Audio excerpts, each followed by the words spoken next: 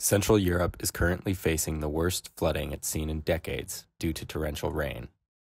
Thousands in Poland, East Romania, and the Czech Republic are being forced to evacuate as floodwaters damage infrastructure and inundate towns. Across particularly Poland, Czechia, and Austria, we've seen uh, loss of life, we've seen power outages, uh, big evacuations, uh, transport disruptions, damage to infrastructure. Uh, and yeah, thousands of people are, are evacuated, hundreds of thousands affected by by all the, the impact of these uh, floods. So a very dramatic picture across the board. Despite the historic nature of this season's events, experts warn that due to climate change, rains like these will become normal. And, and the mechanisms here are, are clear. Um, Europe has for decades been warming uh, at, at a much higher rate than the rest of the world. Warm air holds more moisture, and what goes up will come down, and we see these uh, extreme uh, rain events. and we'll see more of this as we go forward.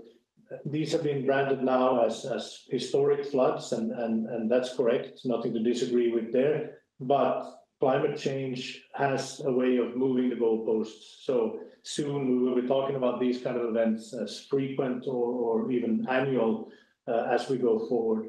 Countries are warily looking toward an expensive future of increased natural disasters such as these. Poland has already set aside $260 million to help those impacted by this season's flooding. So, significant steps are being made uh, by us and by authorities in, in understanding and acknowledging uh, that we need to adapt. I mean, the, the window on, on mitigation is essentially closed. We know that the coming decades will bring more and more of, of this.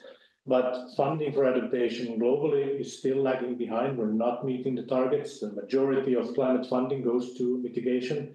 So we need to, to do much more. Experts have described in great detail the challenges we are now and will further come to face as our climate continues to change rapidly.